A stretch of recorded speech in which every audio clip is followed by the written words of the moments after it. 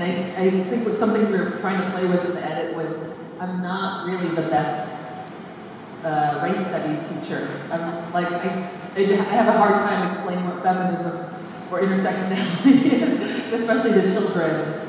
So, um, so yeah, I guess I, I, think about that and and and, and trying to uh, trying to trying to make something that just feels close to me and not that everybody will champion and get behind. Me.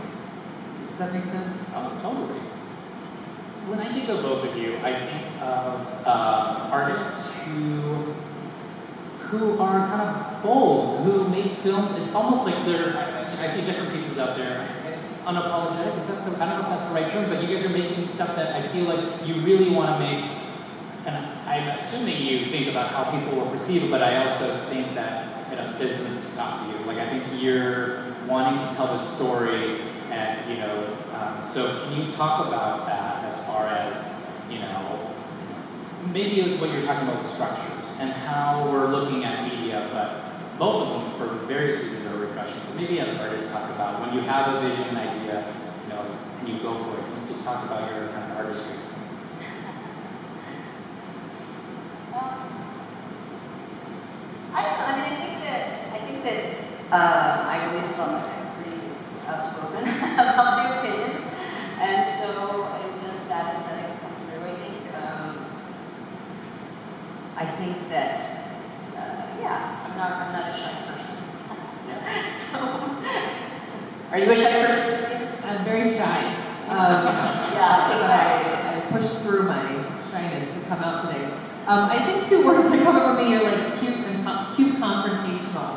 And so a lot of my uh, me being drawn to performance art and the work I make was was uh, my, my, first exposure to activism and thinking that I was an activist was really in college when I went to UCLA and there was like people getting arrested on campus and marching every day and constantly, you have to hold a lot of anger, I think, as an activist. Um, and, and, and, and when I did, it, it hurt. And so I was always trying to think, well, I think what, what, what sort of shifted me in this other direction as an artist is like, well, I just want to make culture that takes up the space instead of screaming, give me space.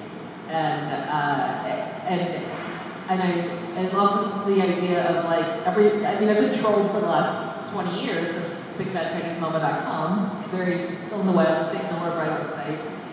Uh, but like just finding these ways of tricking, how do I trick the people uh, that I want to confront to watch this, as opposed to just to perform just for, bubble. And so so those are things that I'm always thinking about in my work is like, how, how can I enjoy this process of driving them crazy?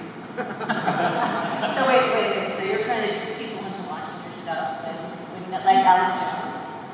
No, no. that, we, we thought that might happen, but it didn't. And then, and then just like one day they stumbled upon it, like three months later.